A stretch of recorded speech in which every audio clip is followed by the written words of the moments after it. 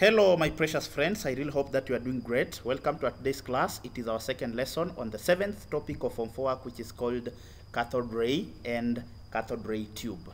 As usual, let me commence by giving the quote of the day, which states that you can only achieve extraordinary results if you put in extraordinary efforts. We shall discuss that quote at the end of our class today. So today we're looking at the cathode ray oscilloscope, which is abbreviated as a CRO. So the main function of a cathode ray oscilloscope is simply to uh, display the waveforms uh, uh, that are produced when the bright spot is either deflected uh, using the Y plate or the X plate. Remember the deflection of this particular electron beam can produce a spot which is either vertical, that is a vertical, horizontal, or even a sine wave. So let's look at the components of the CRO, that is a cathode ray oscilloscope. So the first component is what we call the electron gun. So the electron gun consists of the cathode rays, we have the control grid, we also have the focusing anode, and of course the accelerating anode. The second component is what we call the deflection system, which consists of both, both the Y and the X plates. Then of course the third component is what we call the screen, which consists of uh, that is the fluorescent uh, screen. So let's discuss uh, the functions of uh, each and every part of a cathode ray oscilloscope. So the first part we are starting with an electron gun.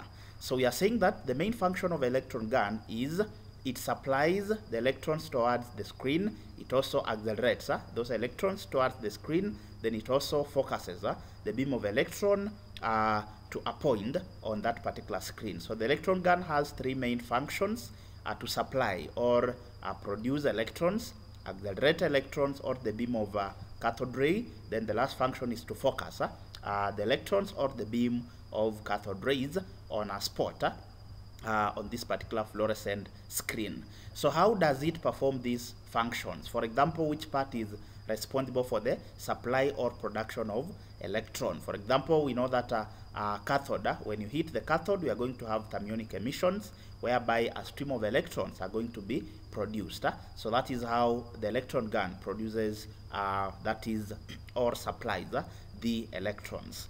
So let's discuss each and every uh, component of the electron gun. So it has uh, basically three components.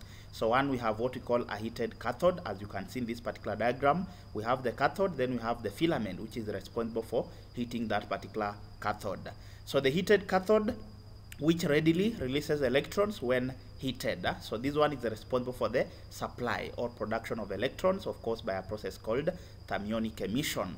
We said thermionic is from two terms, that is thermal, which means heat, then an ion, uh, which consists of electrons and of course the protons. But in this case, we are talking of electrons because a cathode ray is simply a stream of uh, electrons, of course, which are being accelerated from uh, the cathode towards a given a fluorescent screen, whereby we expect them to uh, glow or to form a bright spot. So the function of the heated cathode is simply to release or to supply the electrons through thermionic emission.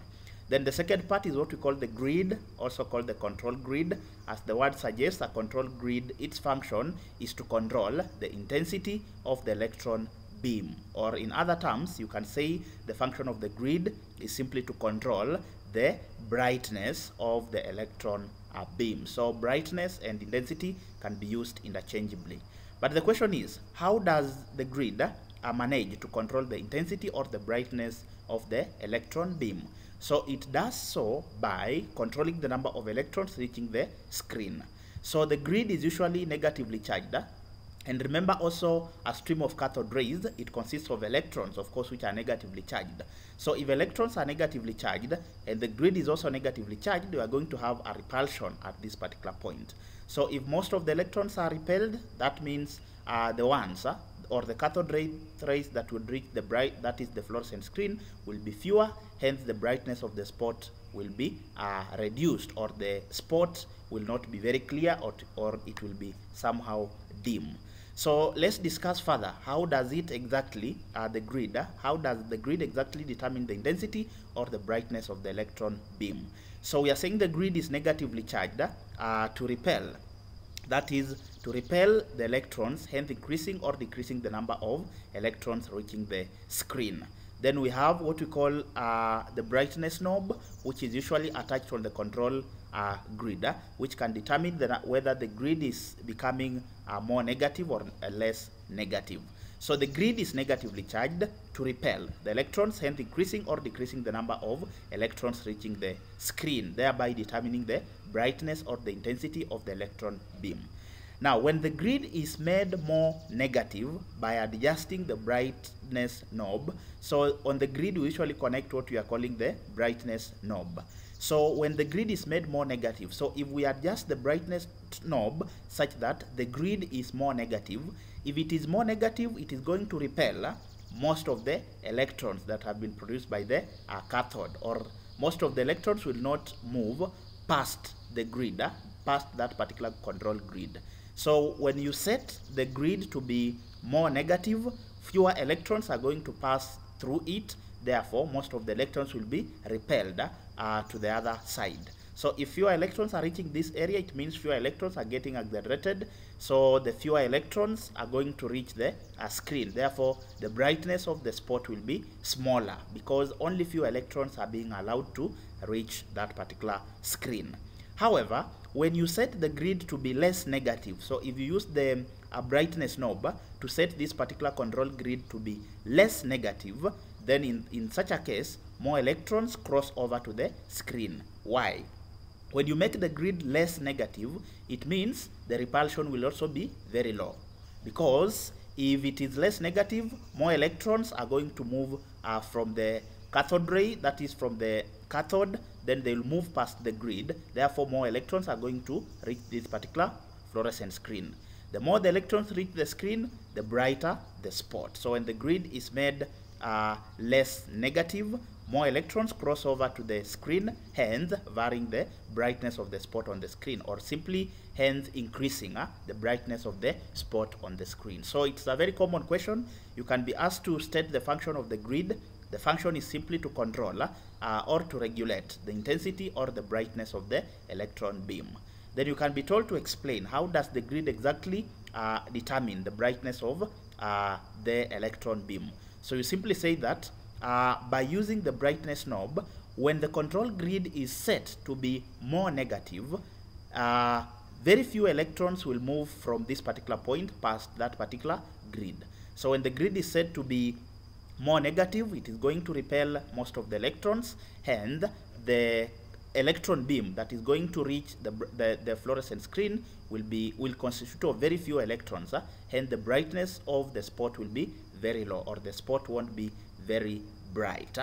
However, if you set the control grid to be less negative, that means there will be low repulsion uh, or lower repulsion.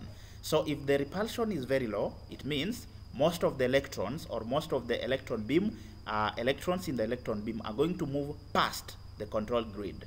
Once more electrons are moving past the control grid, more electrons are going to be accelerated towards the fluorescent screen. The more the electrons reaching the screen, the brighter the spot. So that is exactly how it controls uh, the brightness of the uh, the brightness of the spot. When it is made more negative, fewer electrons, most electrons are repelled, hence fewer electrons reach the screen, hence uh, the lesser the brighter uh, that particular uh, spot will be. But if it is said to be less negative, uh, more le when it is said to be less negative, uh, less electrons are going to be repelled, hence more electrons will be allowed to move towards the screen. The more the electrons reaching the screen, the brighter the spot or the more uh, the brightness of that particular spot. Then the third part of the electron gun is what we call the cylindrical uh, anodes. Of course, there are two. We have the uh, focusing anode and the accelerating anode. So from their terms, you can be able to know each uh, their function.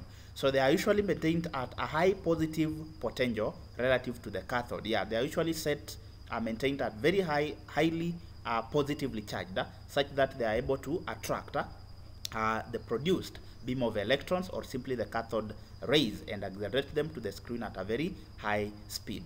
So they are usually maintained at a high positive potential relative to the cathode. So their charge is more than that of the cathode. So this helps to accelerate and focus the electrons so that the beam converges into uh, a fine spot on the screen. So you can see this particular uh, focusing uh, beam, it is somehow uh, converging uh, this particular beam into a common point or into a bright spot. Then of course, because it is positively charged, highly positively charged, then the electrons or the cathode rays are negatively charged, there is going to be an attraction because from the law of charges, we said that uh, unlike charges will always attract each other. So the highly positively uh, charged anode is going to uh, attract the beam of electrons, hence accelerating them towards the screen. Next. We look at the second part of a cathode ray oscilloscope, which is called the deflection system. So from the diagram, you can be able to see that the deflection system consists of the X plates and the Y plates. So the X plate is from the term the X axis, which is usually the horizontal axis. So that simply means that the X plates will be responsible for deflecting the beam horizontally or along the x-axis. So these plates ensures that this particular electron beam does not go beyond a certain point along the uh, horizontal or the x-axis. Similarly, the y plates, y from the term the y-axis, which is usually the vertical axis. So that simply means that the y plates will be responsible uh, for the deflection of the beam vertically or along the y-axis. As you can see, this plates ensures that uh, this particular beam does not go beyond or below a certain point along the vertical or the horizontal axis. So a combination of these two is going to produce what we are calling a bright spot.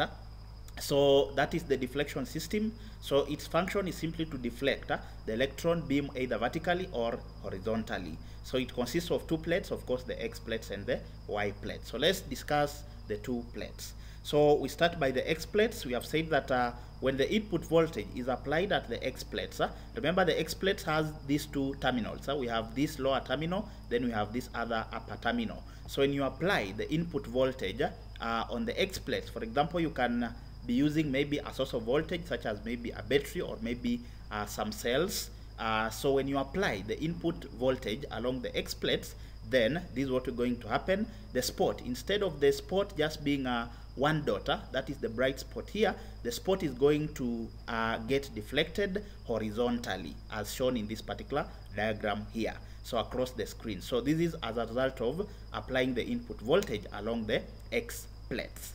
Then you are saying that a time-based circuit is always applied along the X plates. Huh? So it's a very common question. Huh? You can be told to indicate on the diagram where the time-based circuit is likely to be applied. A time-based circuit is always applied along the X plates. Huh? So, uh, so if you have a time-based circuit, you apply it or you connect it on the uh, terminals, these two terminals of the X plates. So when a time-based circuit is applied on the X plates, then it will cause a saw uh, tooth voltage to the X plate. So this graph is as a result of applying the time-based circuit on the X plate. So these will be the results. However, if you apply just some input voltage along the X plate, so you are going to apply a beam which is uh, deflected horizontally. However, if you apply a time base, then you are going to obtain what we call a sawtooth uh, voltage uh, will be obtained as shown in this particular uh, diagram. So this is a graph of voltage against time because we are talking of a time-based circuit. Therefore, the graph must have some time element. Then Roman 2, we took we, we talk of um, the Y plates. We have said that when the input voltage is applied along the Y plates, then the spot will deflect uh, vertically or along the uh, Y axis that is across the screen, of course, as shown in this particular diagram. So you can see the Y plates has the two terminals. So when you apply the voltage, the input voltage along the Y plates, then uh, instead of having just a bright spot, this is what you will obtain on the screen of a cathode ray uh, oscilloscope. Then when you do simultaneous application of the input voltage at the X plates and the Y plates, it leads to the movement of the spot on the screen will be in two dimensions. That is as shown in this particular diagram here. It is going to form uh, a sine wave. So simultaneous. Simultaneous means you are applying them at the same time. That is you apply the input voltage along the uh, Y plate. At the same time, you also apply uh, the input voltage along the X plate. So simultaneous application of the input voltage at the X plates and the Y plates will lead to movement of the spot on the screen in two dimensions. So you can see this will be the graph. Uh, so this spot will take this particular form of a graph that is the sine wave. So it leads to the movement of the spot on the screen in two dimensions producing a wave on the screen. So this is a sine wave that will be produced as a result of simultaneous application of the input voltage on both the X and the Y plates. Lastly, we look at the fluorescent screen. So the fluorescent screen, this is simply where our bright spot forms. So it has some special materials which glows whenever the electron beam hits it. So it is the same same concept that is used in uh, fluorescent bulbs, whereby we have some powder which is usually placed in those uh, fluorescent bulbs, which glows uh, whenever the electron beam hits that fluorescent material, which uh, glows, hence producing light that uh, enables us to see, to read, and also perform other activities. So the screen consists of a glass material coated with the fluorescent substance such as the zinc sulfide, uh, which are called the phosphor. So when the accelerated electrons hit the screen, it simply glows. So the screen usually glows, uh, producing a bright spot uh, because it has what we call the zinc sulfide or, or simply what we are calling the uh, phosphor.